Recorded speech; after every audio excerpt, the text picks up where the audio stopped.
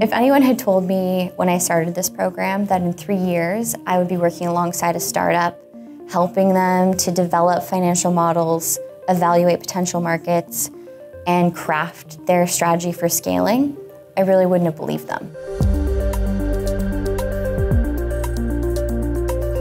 I work at the Creative Destruction Lab, a seed stage program for massively scalable science-based companies.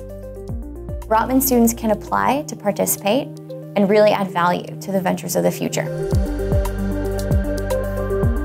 It's very competitive to actually get into the CDLs. This is not necessarily a case study that you're working on, but this is somebody's life and, and it's somebody's business that you're contributing to.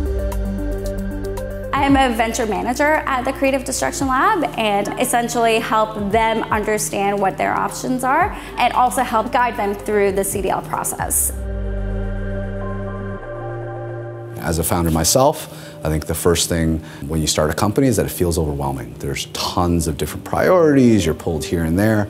And what the CDL does is it essentially gives you coaches and mentors that allows you to select what your top priorities are and focus.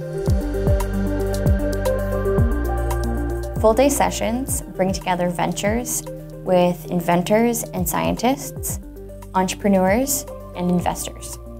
Ventures talk about what they do, and pitch. And the experts ask questions, share judgments, and set objectives for the ventures. As students, we get unprecedented access to the participants and exposure to their remarkable business acumen. The culture of CDL is an interesting one. I think, like any startup, it's all about growth, speed, and expertise. My CDL experience has been incredibly important for my professional development. I have greater confidence as well as increased competence when it comes to working with clients, as well as navigating the intricate world of new ventures.